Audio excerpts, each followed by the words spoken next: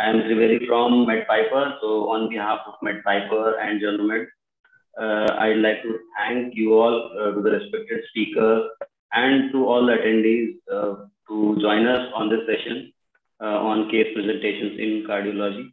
So I'd like to um, hand it over to Dr. Avni next to take over.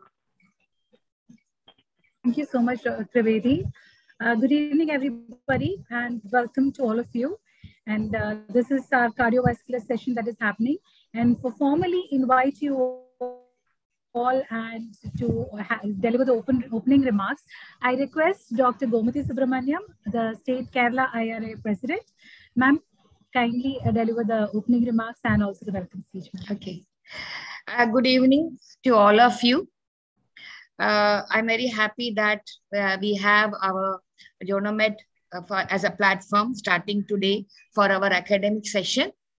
And uh, I welcome, I mean, I uh, welcome all the uh, residents, the faculty, and uh, the uh, IRIA Kerala office bearers for this academic session.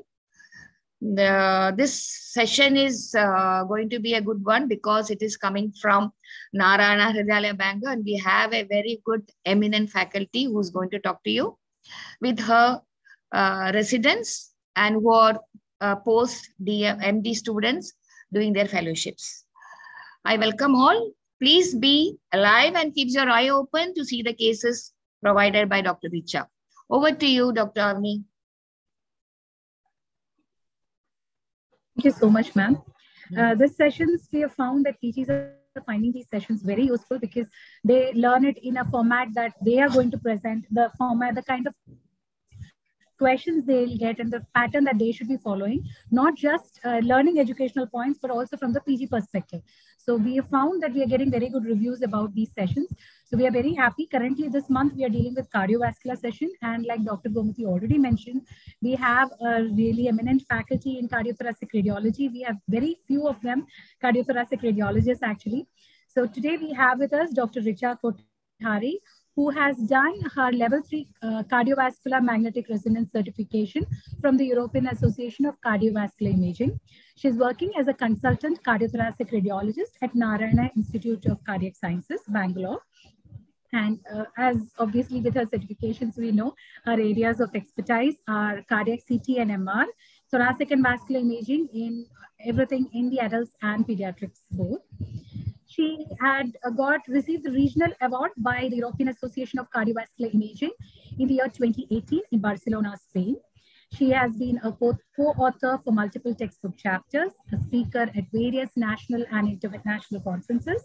She has conducted several cardiac imaging CMEs and workshops for doctors and technicians both. She is a winner of multiple research presentations at national and international level and she's an executive um, committee member of Indian Association of Cardiac Imaging and part of the DNB teaching program. A pretty impressive bio, so we are really looking forward to it. She has uh, two PGs with her today, Dr. Karthik and Dr. Prerna. So over to you, Dr. Richa, for the session. Thank you very much for the very kind introduction. I would like to thank the IRIA Kerala State IRIA for uh, giving us this platform and welcoming us uh, to present our cases. Thank you very much. Especially Dr. Gomati and Dr. Avni, thank you for your support. Uh, just a little bit of about Narayana and our team. Uh, we have a dedicated cardiac building and a dedicated radiology unit for especially cardiac imaging. On an average, we do 25 to 30 cardiac CTs and 12 to 13 cardiac MRs daily. Uh, we have a dedicated team who reports these. Uh, so head of the team is Dr. Vimal Raj. He's my immediate boss. Um, and then it's me. And we usually have multiple fellows. So today with me, I have two of my fellows who will be presenting these cases to you. Uh, we have Dr. Karthik, who is a relatively a fresher. He's post one year MD and he is a one year fellow. He will be presenting two cases in cardiac CT. And the other fellow with us today is Dr. Prerna. Uh, she's from Jaipur. She's come especially to learn uh, cardiac imaging with us and she's five years post MD. so without much ado, we'll begin with first few cases. Um, so uh, what we believe is that a good acquisition uh, means half of your work done. If you don't get a good image in cardiac imaging, uh, we'll spend half our time, you know, trying to guesswork what it is.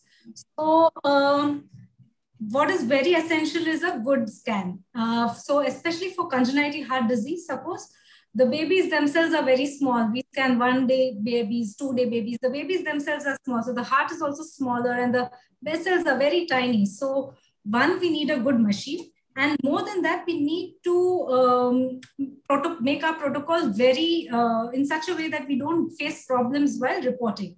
So one thing we uh, follow is we sedate the babies.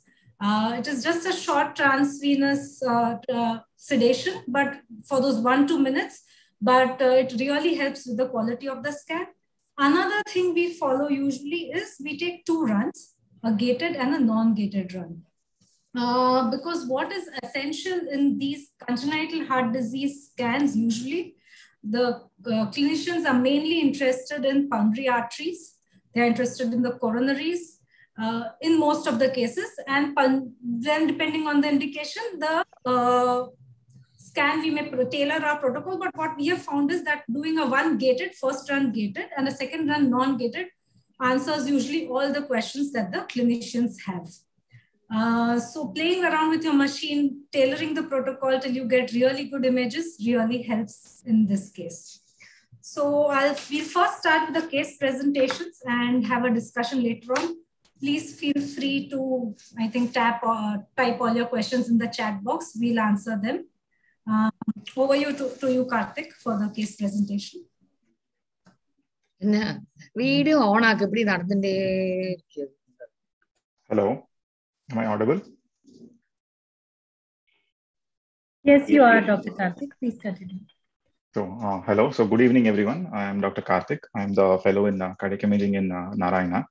So hope you all are doing well. So I'll start. Uh, first of all, I'd like to thank IRIA Kerala for giving me this opportunity to present these cases. And I also would like to thank, uh, thank Dr. Richa and Dr. Vimal for their uh, guidance in presenting these amazing cases before you. So without much ado, I think I'll start presenting my presentation. So the presentation will go in such a way, I'll just give you a brief history, which will be followed by a DICOM image viewer where I'll be showing you the cases followed by a brief description of the condition in which I'm uh, describing the case. So I think I'll start. Uh, can I share my screen, ma'am?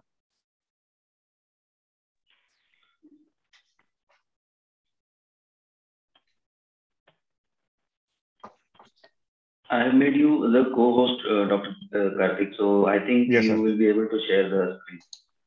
Yes, sir. Just a minute.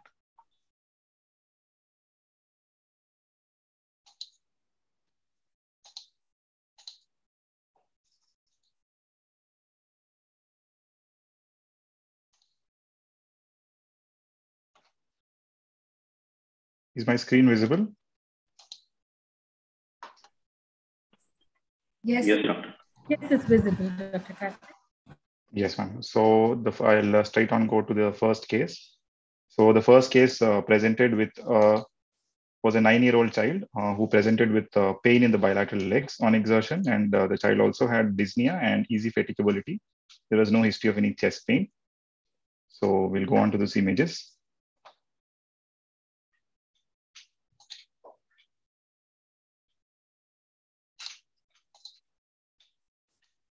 So I'll uh, first of all, I'll uh, start running through these images.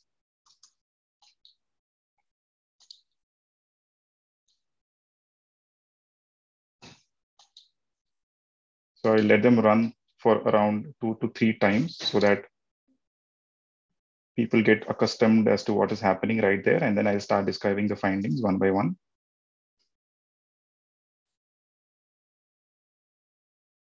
I'll run it once again.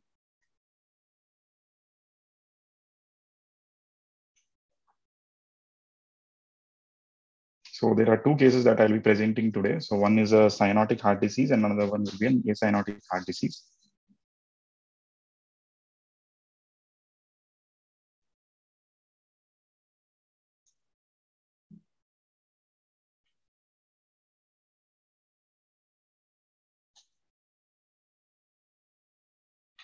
Okay, I'll be running it again, once again for the people who are attending this webinar.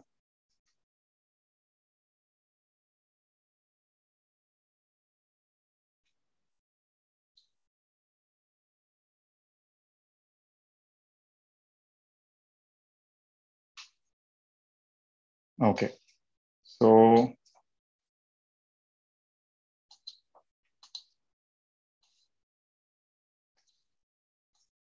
So here we have a baby, was a was a child, a nine-year-old child who had come with uh, on exertion and who also had the bilateral leg pain.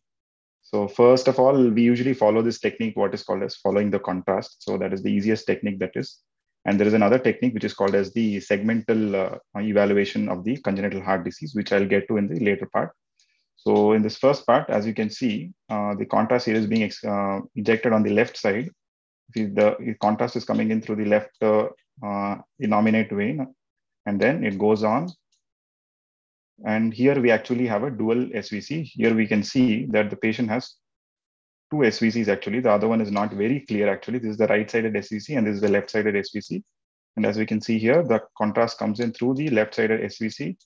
It drains into the coronary sinus, which is not very clear here. And then it goes on, this is the coronary sinus here. And then from there on, it drains into the right atrium. So from the right atrium, we can see the contrast draining into the right ventricle. And from the right ventricle, it goes on and drains into the RVOT. And from the RVOT, we can go on to the main pulmonary artery and into the branch pulmonary arteries, the right, the left.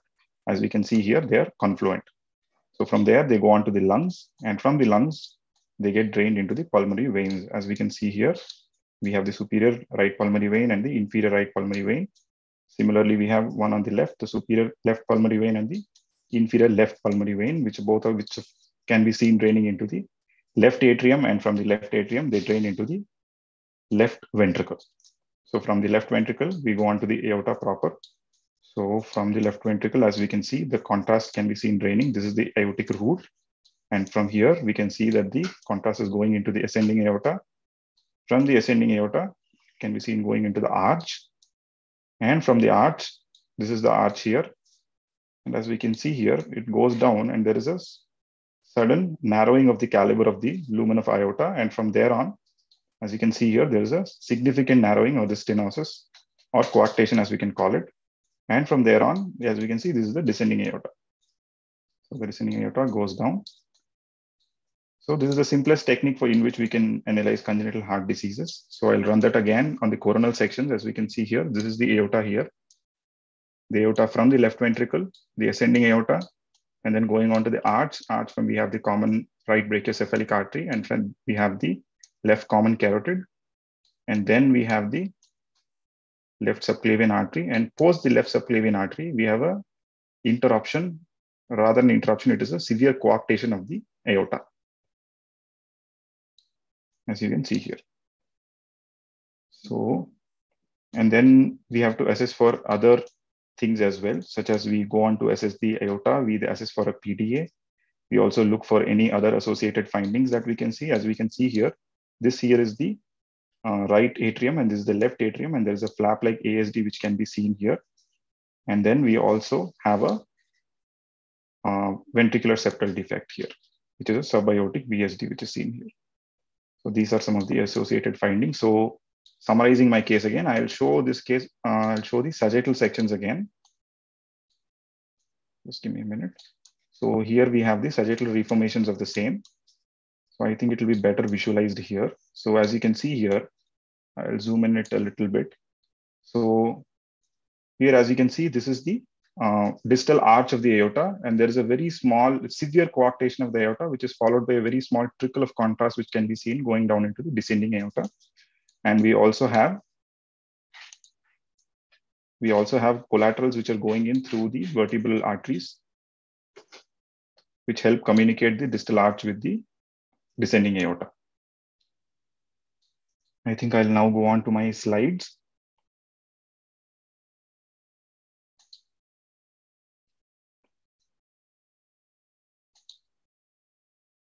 Is my slideshow visible? Yes. Yes, yes, yes. Yes, ma'am. So I'll go ahead with it. Okay. So we had a nine-year-old child who had pain in the bilateral axon exertion, dyspnea, and easy fatigability. So the pain can be explained by the rather lack of blood on exertion because there is a severe coarctation of the distal arch of aorta. So as we can see here, this is a MP, this is a uh, MIP image that I've taken, which shows the severe coarctation of the aorta that is seen here. And we take what is called as uh, Z scores of the aorta. So the most important thing in coarctation of aorta becomes the distance of the coarctation from the left subclavian artery, or rather the distance from a known marker, and the length of the coarctation. Uh, if it is a focal, we say it is a focal, or if it is a definitive length, when we mention the length of the coarctation. And also we take measurements of the aorta at various, various levels, including the arch, the distal aorta, and these are compared with normative values, and then we give them Z scores, which range from minus 2.5 to plus 2.5. So these are the Z scores that uh, were seen in this patient. So the patient had a severe coarctation, as you can see here. At the isthmus, it was very narrow. It was hardly around 1 mm. So this was again an MPR image. VR image of the same patient showing the severe coarctation of the aorta. So a brief description of the embryology of the uh, uh, aorta. So the aorta usually develops uh, from uh, two ventral and two dorsal arches. And of the two dorsal arches, the two ventral, between these dorsal and the ventral arches, uh, we have six pharyngeal aortic arches, which usually develop. And among the six uh, aortic arches, usually they regress, few of them regress and few of them persistently remain. So depending on that, we have various variants in the aortic arch anatomy as well as the descending in the aortic anatomy. So the uh, most common variants that we come across are an aberrant left subclavian artery. We have right-sided aortic arches, and then we have the coarctation of the aorta, persistent ductus arteriosus. So these are some of the common conditions that we come across. And then going on to the next slide. So how do we uh, basically classify coarctation? So coarctation commonly is classified as preductal, that is before the origin of the ductus arteriosus, or it can be ductal or postductal. And there is another classification as well, which is uh, preductal coarctation is usually called as an infantile type, which is usually severe. And there is another type which is called as a postductal type. The postductal type is also called as adult type, and which is less severe and seen commonly in adults, as the name suggests. So usually the most common types are the ductal and the postductal types, and the infantile type is relatively rare. And there is another entity that people should know, which is an interruption of the aortic arch, where there is complete interruption. Here we could see a small trickle of contrast, which could be seen going through. And uh, in interruption of arch, there is complete interruption. There is no communication whatsoever between the descending arch and the um, and the descending uh, thoracic aorta and the arch of aorta. So that is called as the interruption of the arches. And I think the images are pretty much self-explanatory, as we can see here. There are three types commonly. So type C being the least common. And then uh, going on to the radiographic appearances of coarctation of aorta. First of all, we start with a routine radiographs. So on a radiographs, we get the classical, what is known as a figure of three sign, which occurs because of the, the initial part of the three is because of the pre-stenotic dilatation. And then we have a stenotic segment, which appears as the indentation in the three. And we again have the post-stenotic dilatation, which is the, the latter part of the three. And the other associated findings that we usually see is the inferior rib notching that is shown with arrows here that occurs because of the increased uh, vascular flow or increased blood flow through these uh, intercostal arteries, which usually um, bridge the um, uh, part that is from the arch to the distal thoracic aorta. So because of the increased blood flow, there is erosion of the inferior aspect of the ribs, which is seen. And uh, going on to the CT. So the important things that need to be reviewed on a CT includes the type of the coarctation from a surgical standpoint.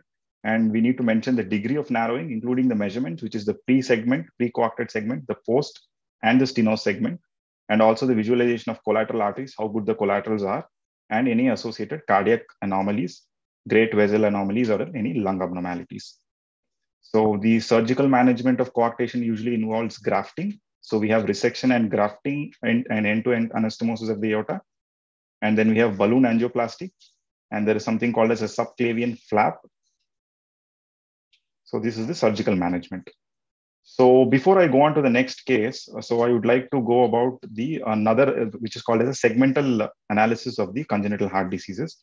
We have what is called as a Van Praagh classification system, in which we have three notations, which are usually described as SDS commonly, So the S, the first S here usually describes the visceral situs, uh, the visceral situs, and the next, the notation, which is the D, usually commonly being D-looping of ventricles, usually mentions the orientation of the ventricular loop, which can be of two types, namely, it can either be D-looping or L-looping.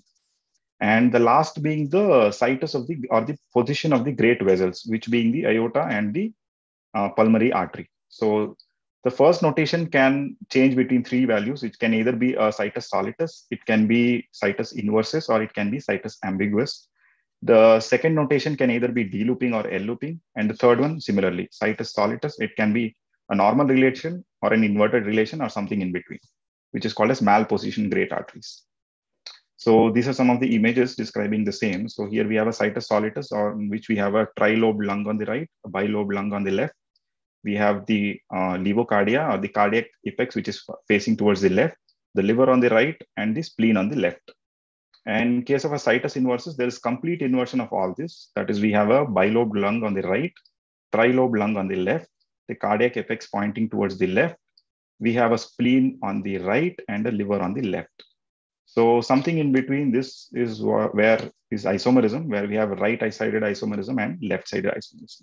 So anything which is neither uh, situs solitus or situs inversus, we usually label it as ambiguous with the notation A. And then we have what is called as D-looping and L-looping of the ventricle. So the easier way to remember this is in D-looping, the right ventricle is in the right, the left ventricle is on the left. In L-looping, it is usually inverted. The left ventricle is on the right, and the right ventricle is on the left. So that is almost inverted. So that is the D-looping of ventricles. And uh, here we have a diagram describing the uh, relation, the normal or the common relations of the great vessels. So this is the commonest relation between the aorta and the pulmonary valve and the aorta and the pulmonary artery. This is how the inverted one looks. And these are all the variants which come in between. So we usually describe them as either D malposition great arteries or an L malposition great arteries based upon the relations of the aortic valve and the pulmonary valve. So now going on to my next case. So my second case is that of a 14 day old child who had come for cyanosis and fast breathing.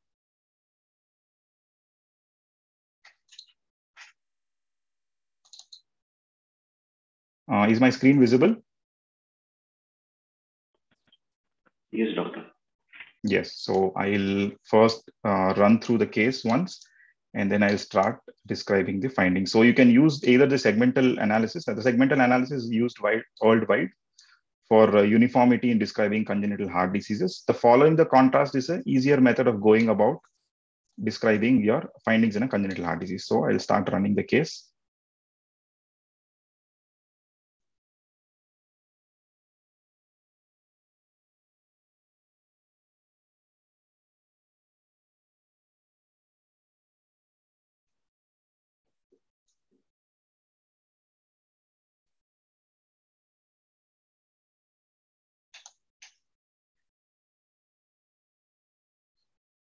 So I'll run it once again. This is a pretty much straightforward case.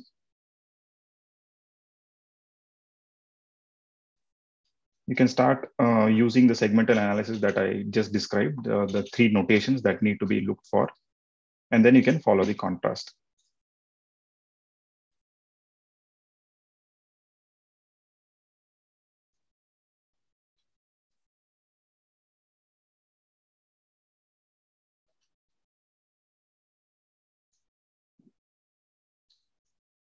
So one last time, I just run it quickly.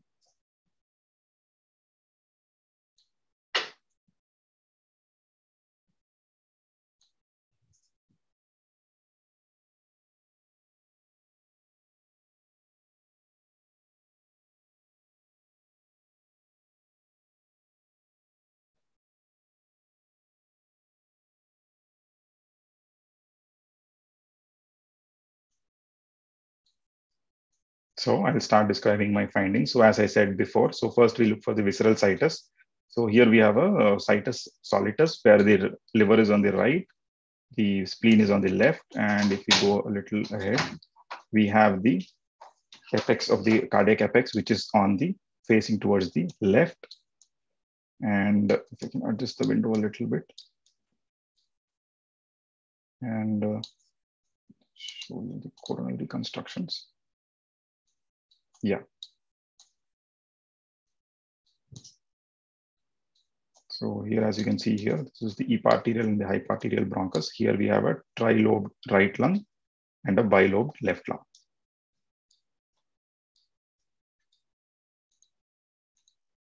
So going on to the,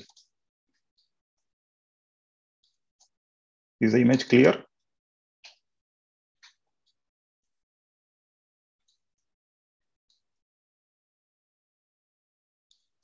Okay, I'll start describing my findings right now. So we just described that the liver is on the right. So we have a visceral situs. And here we have the D-looping of the ventricles where the, how do we find out is a right ventricle is we usually follow the contrast as I said before. So here we have the contrast coming into the SVC. And from the SVC, if you follow it downwards, it goes and drains into the right atrium. And the right atrium, as we can see, it is draining into the right ventricle. So the right ventricle is to the right of the left ventricle. So this is the D-looping of ventricles. And then we go on to see the relationship of the great arteries. As we can see, the relationship between the aorta and the pulmonary is as it should be in a situs, in a normally related great arteries. So this is a normal relation. So we can notate it as S. So now as we were following the contrast, so the right atrium draining into the right ventricle, and from the right ventricle, it is supposed to drain into the pulmonary artery. So as we can see here, it is going into the pulmonary artery. However, we have a severe stenosis, which I'll show it to you in the sagittal reformations where it will be better visualized. So as you can see here, this is the right ventricle, and this is the right ventricular outflow tract, and this is the pulmonary artery here. So there is a severe stenosis at the level of the infundibulum. The infant, this is the part of the RVOT where there is severe stenosis and there is resultant right ventricular hypertrophy. And uh, then going on to the other findings. And from there, we go to the pulmonary artery. And from the pulmonary artery, we have confluent branch pulmonary arteries. The pulmonary arteries are draining into the lungs. And from there, they drain into the pulmonary veins. As we can see, the right pulmonary veins and the left pulmonary vein and the left the pulmonary veins are seen draining into the left atrium, from the left atrium into the left ventricle, and from there on into the aorta. But at the level of the aorta, we can see that the aorta receives flow from both the right ventricle and the left ventricle as well, along with a ventricular septal defect, which can be seen here. And then the aorta continues forward to the ascending aorta, the arch of aorta, and into the descending aorta. So summarizing my findings once again, we have severe pulmonary stenosis, severe infundibular stenosis with uh, underlying right ventricular hypertrophy. And we have uh, overriding of the aorta, which receives flow from both the right ventricle as well as the left ventricle because of a VSD. So putting it all together, this is a case of tetralogy of Fallot. So I'll go back to my presentation.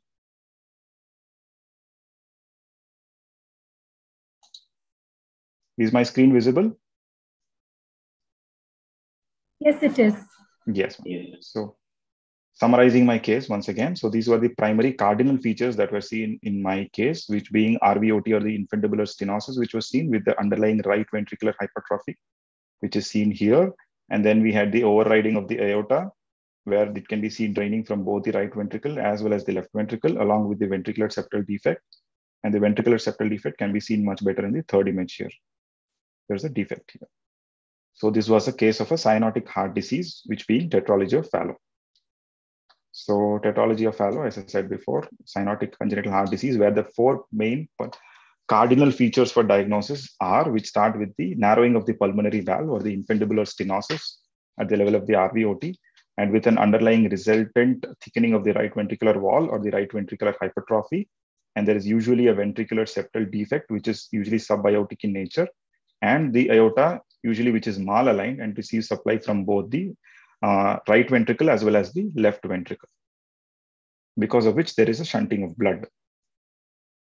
And this is a comparison between a normal heart and a uh, heart which has tetralogy of Fallot. As you can see here, the pulmonary, uh, the RVOT or the infundibulum is wide enough here. Otherwise, as in comparison, it is narrowed, severely stenosed in case of a tetralogy of Fallot. And there is an overriding of the aorta where it receives flow from both the right ventricle as well as the left ventricle. So some of the genetic associations, a small brief uh, description about TOF. So usually the incidence is around 0.06 percentage of live birth, and it constitutes about 5 to 7 percentage of all the congenital heart diseases, usually associated with Downs. And it is also usually associated with VACTERL and CHARGE syndrome. So the main importance of TOF being it is one of the common, very commonly diagnosed congenital heart diseases, and usually these children live to adulthood. So increasing the prevalence of tetralogy of Fallot in adults, and usually because of which we find a lot of adults who have tetralogy of Fallot. And uh, the associated findings that we need to be looking for in case of a tetralogy of Fallot include the commonest being right-sided aortic arch. As I said, there'll be associated findings. The commonest being a right-sided aortic arch with a mirror image branching, which is seen in around 25% of the patients. They have aberrant subclavian arteries, uh, and the stenosis of the pulmonary artery can range from a mild pulmonary stenosis to pulmonary atresia, where there is complete stenosis. And sometimes it is completely even absent. And there are coronary artery anomalies are also very commonly associated with TOF. So the coronary artery anomalies that usually need, uh, need to be looked out for because um, we look for what is called as a coronary arteries crossing the uh, anterior to the RVOT, which I'll be showing an image of. So during the surgery for TOF, they usually tend to put a radial incision, which might tend to damage the coronary artery. So we need to look out for the coronary artery anomalies as well. So on the imaging aspect, we need to evaluate for the confluence of the pulmonary arteries, whether they are confluent, non-confluent, atretic or hypoplastic. And then we need to establish the positions of the coronary arteries. Like I just mentioned, we need to look for aortopulmonary collaterals. The aortic anatomy, again, like I said, that should usually is associated with a right-sided aortic arch. So, and another important thing that needs to be mentioned in most uh, TOF patients is what is called as a McGoon's ratio. So McGoon's ratio is usually, uh, we get it from the uh, dimensions of the uh, distal right pulmonary artery, distal left pulmonary artery, which is usually divided by the diameter of the aorta at the diaphragm. So the values usually range anywhere from one point, uh, the value should usually be more than two, but anything above 1.7 is acceptable. The importance of McGoon's being anything less than 1.5, usually they tend to go in for palliative surgical procedures rather than definitive surgical procedures. Going on to my next case, there are, these are a few images describing how a coronary, this is a coronary, which can be seen here, which is crossing the ant, anterior to the RVOT. So the importance here becomes is that during the surgery, they tend to put an incision here. So which can uh, bisect the coronary artery. So they need to be mentioned. And the next part is major aortopulmonary collaterals, which is MAPCAS. So in case of pulmonary atresia and even in severe pulmonary stenosis, the mechanism by which these uh, children usually survive is that they develop collaterals from directly from the aorta, which are of pretty big caliber. So they are called as major aortopulmonary collateral arteries. And then, as I said again, aortic uh, variants, we get what is called as a right-sided aortic arch, which is uh, like the aortic arch is usually to the right of the trachea. If it is to the left of the trachea, we call it as a left-sided aortic arch. And then we also have aberrant subclavian arteries, as I just said. So this is the aberrant left subclavian artery, which is having a retroesophageal course, as it can be seen here, retrotracheal and a retroesophageal course here. So these are some of the commonest anomalies, or the commonest associations with a tetralogy of Fallot. So the corrective surgery, as I mentioned again, usually involves the resection and enlargement of the RVOT or the infundibular stenosis and usually closure of the VSD by using a transannular patch. Thank you.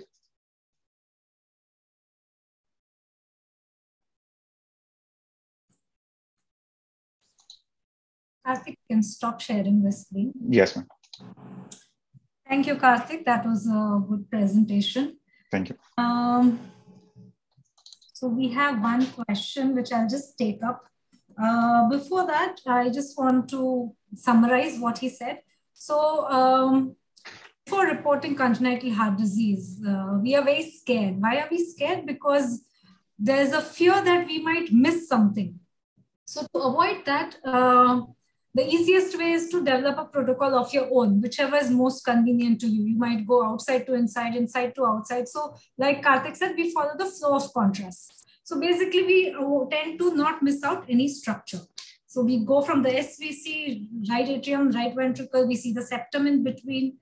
Pulmonary arteries, pulmonary veins, left atrium, left ventricle, aorta. We end up seeing everything. And then lung windows. So we see the lungs, bones, and we are done, right? So you can develop your own protocol if that helps, whatever helps. Um, another thing, uh, I'll just summarize both the cases. Tetralogy of Fallot is the commonest congenital heart disease, but echo is quite good enough. Why would a clinician send to you for a cardiac CT? Because these babies are small, they have a very good window uh, for echocardiography. All cases will not come for CT MRI. Very few cases will come. So we have to be very careful what the clinician wants from us. First and foremost, most important for them to decide the further management is the pulmonary artery size, like Karthik said, McGoon's ratio. So that decides the further management. If the pulmonary arteries are not big enough, they will not go ahead and do an intracardiac repair. Uh, they will first try and make the increase the blood flow to the lungs. So they may do a BT shunt or they might put a PDA stent or whatever, depending on the patient. So first and foremost, the information they need is the pulmonary artery size and whether they are confluent or not. So that's where the McGoon's ratio comes in. Second thing they need uh, is the coronary artery anatomy. In that, the important thing is, is, is there a major coronary crossing RVOT? Because then they need to change their surgical approach. Uh, otherwise, intra they will find out there's a major coronary crossing RVOT and they totally cause the radiologist. Third important thing is the MAPCAS. We need to describe the MAPCAS origin and course and how many they are exactly because they need to decide if they need to operate on them there's something called uh, unifocalization of the MAPCAS, which the surgeons do. They need to decide whether they need to do that or not. So we need to describe each and every collateral in detail. This is rep reporting for preoperative TOFs. So we have a question which says explain overriding of aorta. So normally aorta arises from the LV, right? But in tetralogy of Fallot, there is a malaligned ventricular septal defect. So the aorta kind of is sitting on top of the defect. So it appears as if it's overriding the defect and it drains both the ventricles. That's what's called overriding of aorta. Um, so if it's less than 50%, it usually goes towards tetralogy of Fallot. If the overriding is more towards the right ventricle, we have to start thinking in terms of double outlet right ventricle. Okay. Uh, regarding the other case, coarctation, uh, like he said, what is most important is the um, coarctation, what's its size, and um, how distant is it from the left subclavian artery for them to decide the further management. What we do is give something called Z scores or Z scores. Uh, that is nothing but an objective measurement. Okay. So we don't need to subjectively say, oh, it's severe or it's not severe. No. We give them the scores. They can see in numbers objectively that whether it's severe or not, because uh, these are childs of all ages, right? How do you know what is normal for that child?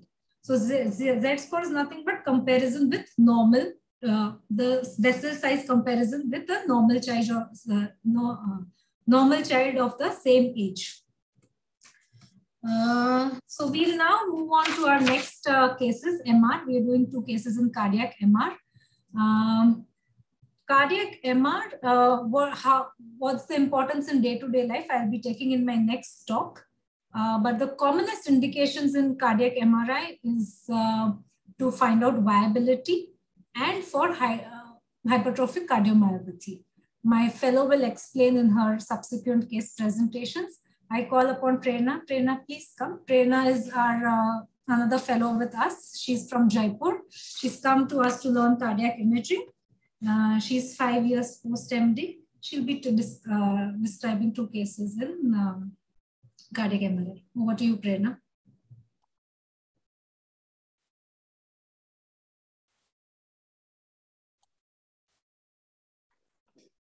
Is my screen, screen, can you see my screen? Uh, it's still Karthik's presentation. Okay. Now is it visible? Yeah, yeah, yeah. Okay. Good evening, everyone. I am Dr. Prerna Singh. I'm a fellow in cardiac imaging in Narayana Health City. And uh, I would first of all like to thank you all for giving me such a good opportunity. And uh, especially to IRIA Kerala.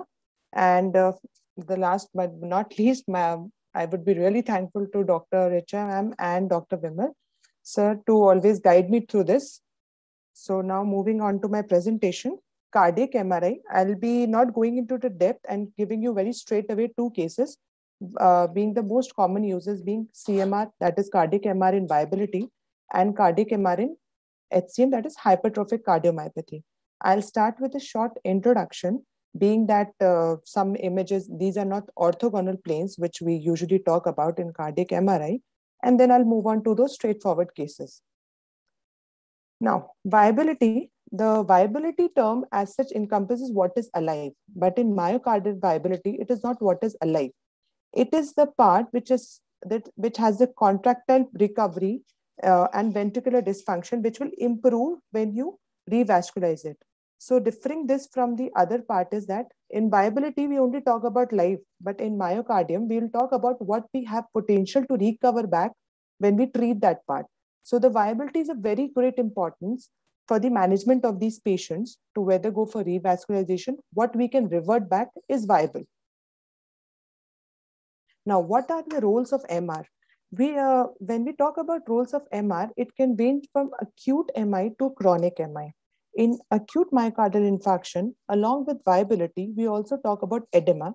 In chronic myocardial infarction, when we are dealing with a chronic ischemic cardiomyopathy, we can tell the amount of infarction affecting, which may alter the treatment on the course of the patient, in which we can either go for revascularization or we can go for an optimal medical therapy.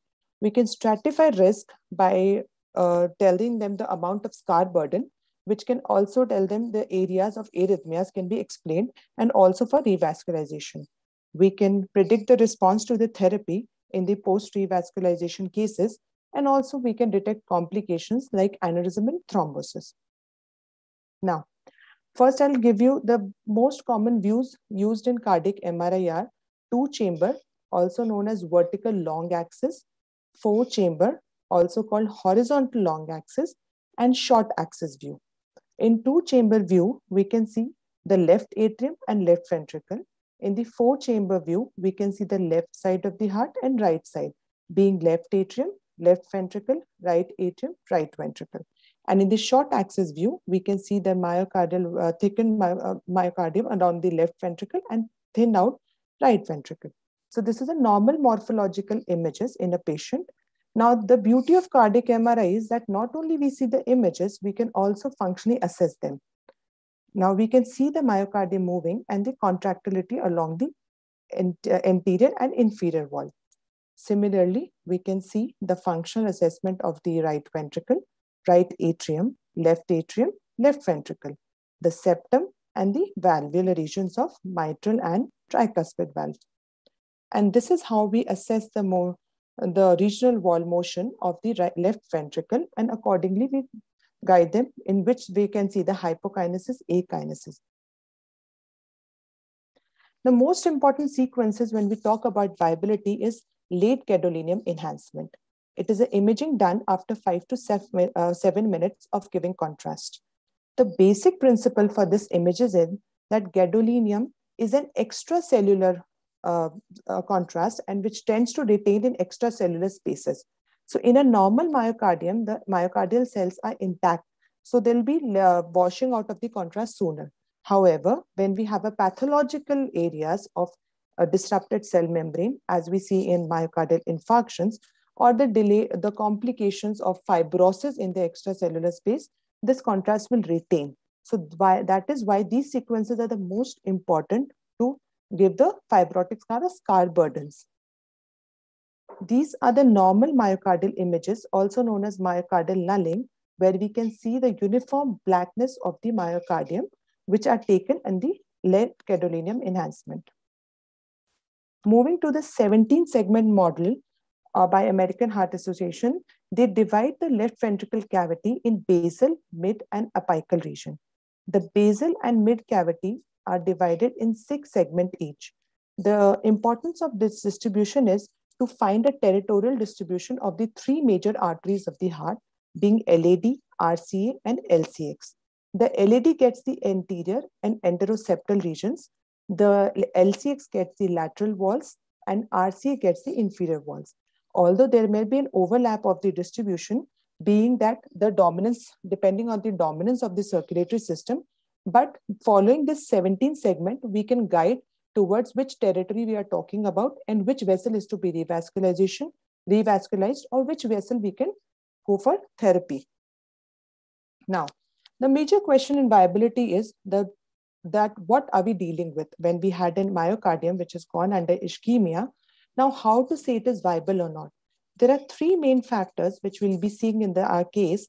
The myocardial thickness, the thinning of myocardium suggests fibrosis, chronic ischemia leading to fibrotic areas. This is a contractility reserve, how well it contracts. It can be hypokinesis, that is, it is still viable, but contracting less to the other parts of the uh, areas of myocardium. And the last, the most important being the scar imaging, that is the how much of myocardium is showing delayed enhancement. So when we talk about delayed enhancement, it can vary from the area of thickness of the myocardium involved. It can be up to 25, 50%, 75, or more than 75. As you can see, this is a null myocardium. This is less than 25% of area. This is a 50% area, and this is up to 75. And this is a near transmural term used when we see nearly the whole of the myocardium is involved. Now coming to question, uh, generally when we see up to 50% is thought to be viable. It is hypokinetic and viable. Everything bottom together, up to 50% is considered viable. More than 75% or transmural is non-viable. Now the question for the 51 to 75% arises on when we go back to the motion uh, contractility reserve. If it is hypokinetic, we can label it as viable. If it is akinetic, thinned out, we label it as non-viable. Now, the case, very simple, straightforward case. It was a 52-year-old man who was diabetic and hypertensive. He had an anterior wall MI two months back. Now, this is a two-chamber image and this is a four-chamber image.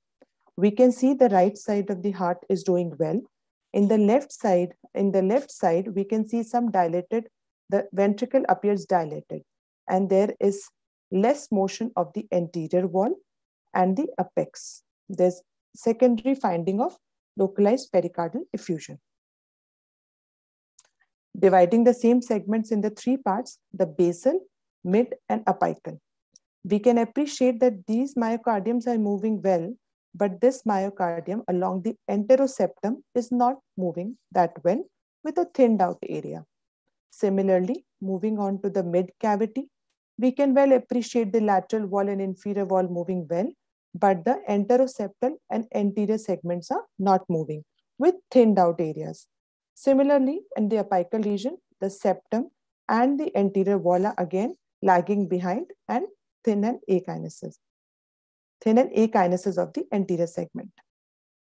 Now comparing to our findings to the late gadolinium enhancement, there was thinning and hypokinesis, severe hypokinesis, I would say, along the anteroseptal segment. The corresponding area shows near transmural infarction. The mid cavity, similarly thin myocardium with severe hypokinesis, and it is transmural infarction and similar in the apical cavity along the anterior and septal segment.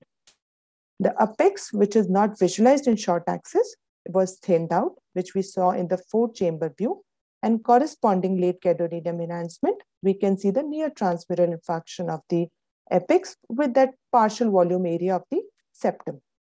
So our report would go like, out of 17 segments, six are non-viable, being basal anteroseptum, mid-anteroseptum and mid-anterior, apical anterior segment, and apical septum and apex. Now, what is the importance of these? The most important predictor for a successful outcome after revascularization procedure is the presence of scarring. There's an inverse relationship for the scar that is more than 75% is thought to be non-viable and less likely to recover after revascularization. The scars are the, also the substrate of arrhythmia, which might explain the causes in these patients. And concluding in our case, more than 75% segmental hyperenhancement suggests non-viable infarcted tissue with little to no potential for functional improvement after revascularization. Moving on to the case number two, which is again a common indication for cardiac MRI, hypertrophic cardiomyopathy. A short introduction. It is a genetic cardiac disease. The most important differential here is that it is a diffuse or segmental left ventricular hypertrophy, which is non-dilated and hyperdynamic chamber in the absence of another cardiac or systemic disease. So differential from the left ventricular hypertrophy are excluded being a genetic disease. It is producing a mag the which can the other diseases cannot explain the magnitude of this hypertrophy. Most it is a most common cause of death among young patients and symptoms may vary according to the area involved in the thickening and any other associated obstructive changes, which can be dyspnea, syncope, or sudden cardiac death. The other term which we get familiar to is that HOCM. The only difference between HCM and HOCM is that when the HCM presents with obstructive changes along the left ventricular outflow, outflow tract or along the mid cavity, it is termed as HOCM. We can also find the right ventricular involvement, which can cause right ventricular outflow tract obstructions. Morphologically, the different types of uh, HCM will depend on the area involved. It can be focal, asymmetrical, focal septal leading to LVOT obstruction. It can be uh, asymmetrical septal, an apical variant, a concentric form, mid-cavity form, a mass-like, or multicentric. So depending on the wall involved, it can be concentric, asymmetrical, or focal involvement.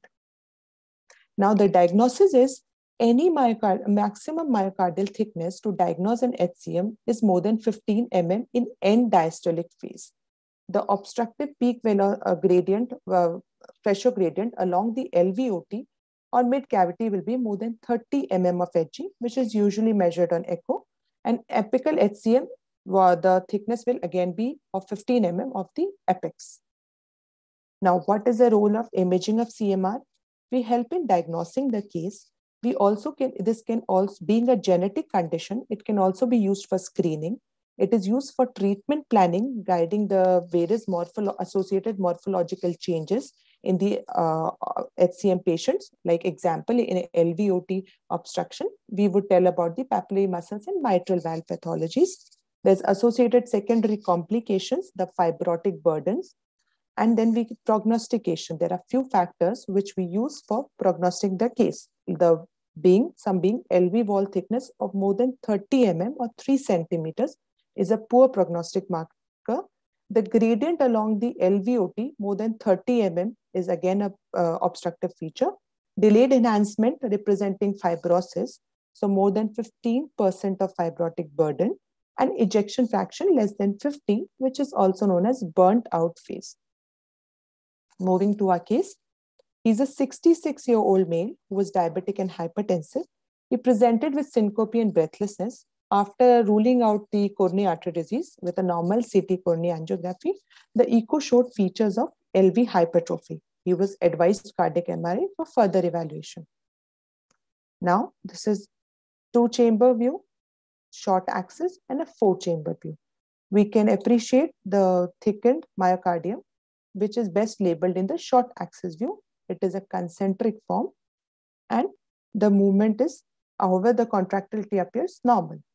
So the hypertrophy was 23 mm, meeting a criteria of more than 15 mm. This was the thickness. This is how we take it in end diastolic phase. Normal uh, my, my, myocardial thickness is up to 13 mm. In this normal case, we can see it is 7.2 in diastolic phase and in our case, it was 23 mm. Moving to the common complications of the uh, HCM being HOCM, that is obstructive. This is a normal three-chamber view where we can see the mitral valve moving and a gush of blood along the aortic valve. Now, in HOCM, there is anterior motion of the mitral leaflet leading to narrowing of the LVOT tract, which is known as left ventricular outlet tract obstruction and we can well appreciate a flow acceleration jet in the subaortic region, differentiating it from an aortic valve pathology. The associated secondary changes we can see because of the anterior drag effect, we can see the mitral regurgitation jet which is not nothing but non uh, the both the mitral leaflets are not opposed because of the anterior drag effect and there's an eccentric jet. The secondary changes can also be seen along the right ventricle infundibular region. This is a normal right ventricular tract with no obvious eh, flow acceleration. However, in our case, there was infundibular hypertrophy leading to flow acceleration jet in RVOT. This is a late gadolinium enhancement image. This is a normal nulled out myocardium. And this is, we can see some white areas, patchy white areas along the mid myocardium, along the septum. So this is patchy mid myocardial fibrosis or, or we can say enhancement on the late gadolinium images. So summarizing our findings, we saw the type of HCM. It is circumferential hypertrophy with maximum thickness of 23 mm. We saw the obstruction along the left ventricular outflow tract with an eccentric mitral jet or regurgitation. Of regurgitation, we saw a jet along the right ventricular outlet tract with thickened infundibular region. There was patchy mid-myocardial enhancement along the septum and we could see enhancing papillary muscles, also an indicator for fibrosis. So diagnosis was hypertrophic obstructive cardiomyopathy. Differential in our cases, being an hypertensive patient, he can also develop overloading condition that is hypertensive ventricular hypertrophy. But hypertensive left ventricular hypertrophy rarely exceeds more than 15 mm in thickness. It is not associated with obstructive features. It does not involve the right ventricle and usually we see no post-gadolinium enhancement. Other differential conditions can be overloading, then again secondary to athlete's heart or aortic stenosis. There can be infiltrative diseases, example amyloidosis and Fabry's disease. Finally, the treatment for these patients will incline the complications which you are facing. They can either be having arrhythmia secondary to fibrosis or they can have outlet LVOT obstructive features. So the lifestyle changes with uh, asking them to exert less to keep a low heart rate so that the filling happens, being a diastolic failure, the filling happens properly, the left ventricle fills properly. The genetic counseling of the patient, uh, because being an uh, inherited disorder and genetic disorder, then we can go for when in the obstructive features, we can go for uh, percutaneous alcohol septal ablations or surgical myomectomy and uh, with arrhythmias are treated with implantable defibrillators. Thank you. Thank you, Prerna, for the excellent case presentation.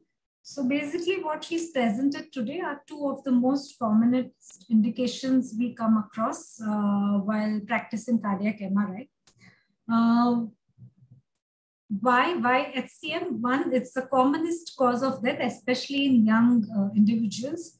So um, that's why we scan cardiac MR. Uh, so what the clinician wants from us is what's the degree of the myocardial thickness and what's the fibrotic burden and if there are any other complications. That helps them decide the further management, whether patient needs to undergo surgery or non-surgical management, whether he needs um, uh, ICD, intracardiac devices to avoid arrhythmia and sudden cardiac death. So that's HCM.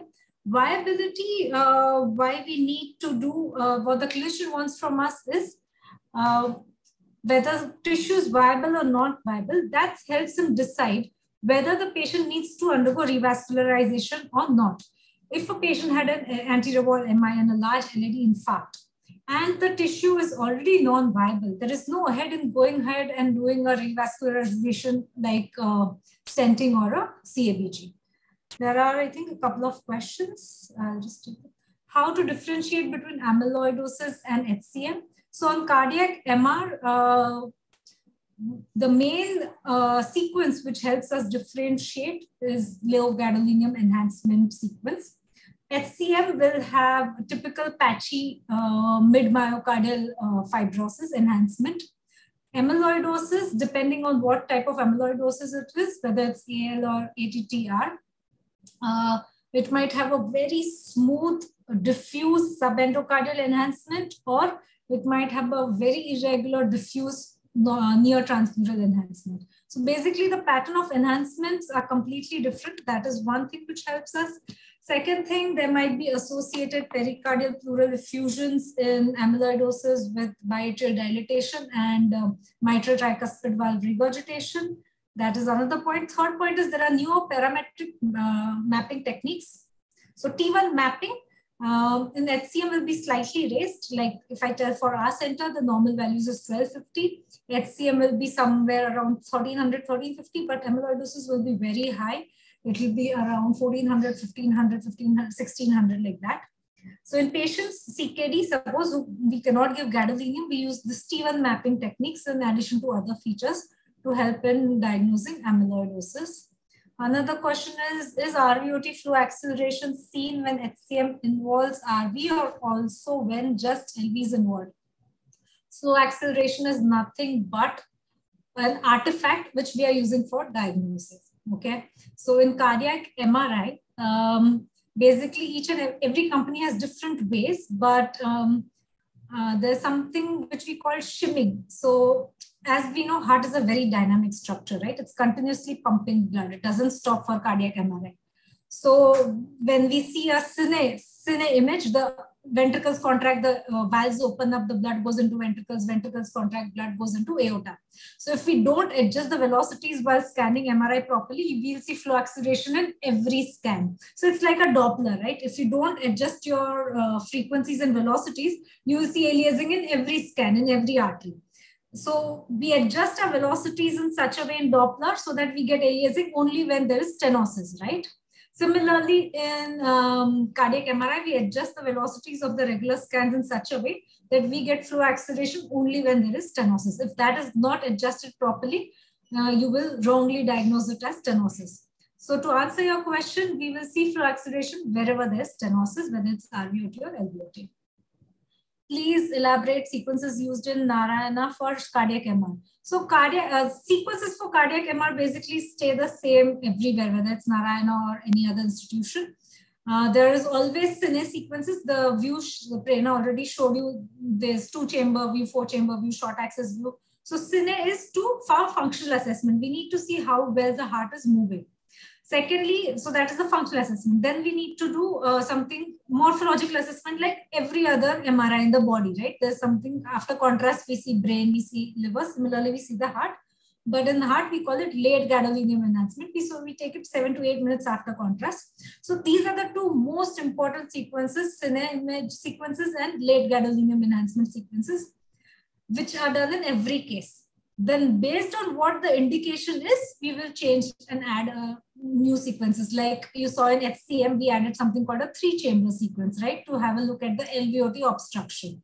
So similarly, we keep adding sequences based on the indication. Um, I cannot talk about every indication right now, but uh, for, for further lectures, we'll talk about that.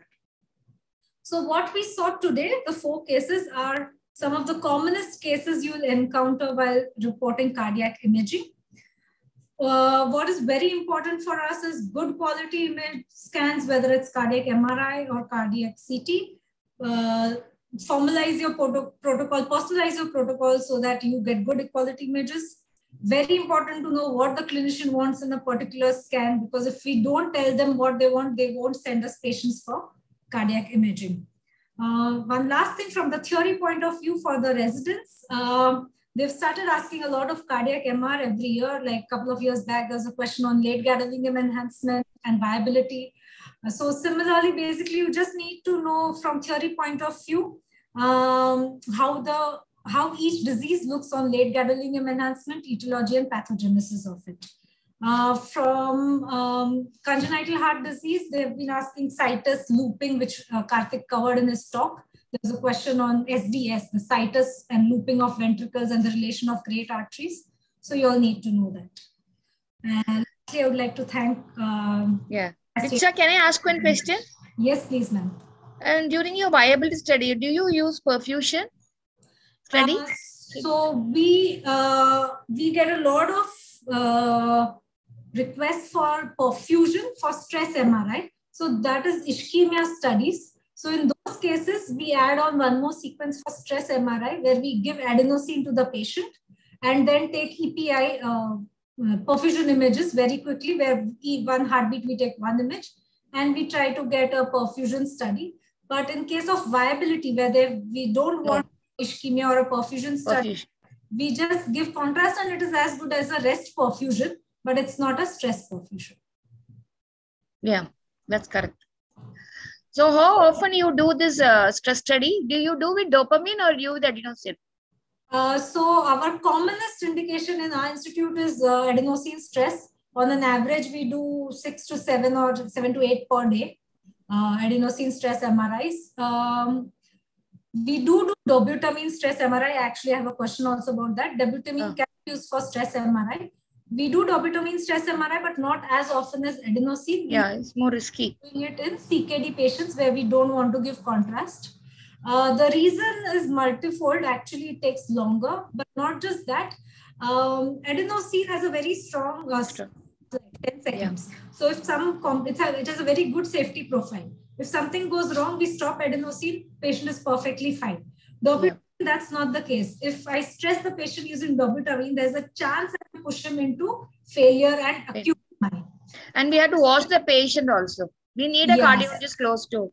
Yeah. Do you so have some... a Sorry. Do you have a cardiologist close to you when you do this adenosine stress test? Have so a team? uh, uh, this whole building is the cardiac building. So there's always someone close by, but as a protocol in our department, all of us are uh, ACLS certified. So we only stress. Uh, we can deal with all the complications. So usually the because the first couple of minutes are very important, even while the team responds. So uh, we make sure we or any fellows who come, we are all trained. Uh, so okay. still the response team comes uh, we manage the patient. So we are certified that way. But yes, we have someone close by, but not standby. If we call, they'll come. Like very, very good. It was an absolute very good uh, study, and the students also did very well. Karthik and Prerna. Exactly. Over to you. Was, yes, mm -hmm. Thank you, ma'am.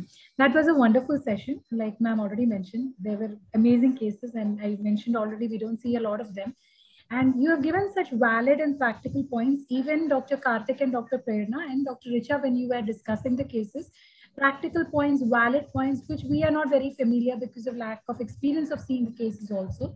And the way you moderated sessions, taking up even the last bit of dobutamine question, which I thought will get missed out, you were like, you know, keeping your eye out on the tab. It was excellent on the whole, the entire, the PGs and Dr. Richa, thank you so much.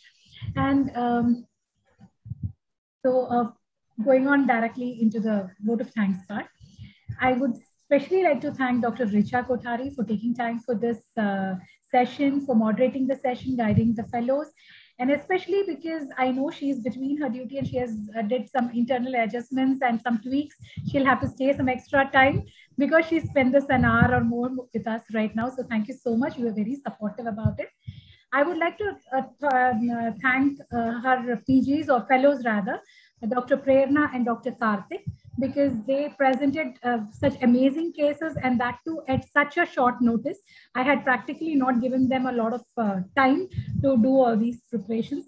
And in the background scene, there is, I would like to thank Dr. Vimal Raj because he's the one who connected me to Dr. Richa and Dr. Sanjay Yadav who connected me to Dr. Vimal Raj. So it was an entire process. Thank you, everyone. Thank you, Dr. Gomati Subramaniam, ma'am, uh, our Kerala State IRIA president, a super enthusiastic academician who pushes us and practically the driving force behind all our academics in Kerala IRIA. Dr. Rijo, sir, he had just joined a moment ago, but I don't see him in the list anymore. So um, he's always, you know, there supporting us, guiding us. Dr. Ramesh Shenoy, sir, he's our program coordinator and always there with us as our digital guru and supporting and guiding us at every step. Dr. Venu, sir, who is our um, and who was supposed to be with us again, and our entire team of academic coordinators for making all these sessions happen seamlessly. And these events would never be fruitful without our audience, our PGs, and the radiologists who are viewing us. So hope you continue to support us and benefit from our sessions. Thank you, MedPiper team, for providing us this wonderful platform, especially Ms. Soumya and Mr. Trivedi for coordinating this entire thing for us. And at the end of it, Dr. Gomati ma'am, with your permission, if it's all right, yeah. we can end the session. Thank you. Thank you. Yeah. So thank you, everybody. So on behalf of MedPiper and Genomed, also, I would like to thank all the speakers for this wonderful session. And I'm sure all the attendees were benefited out of it. and uh, hopefully they can get more such sessions in the future. So thank you everyone.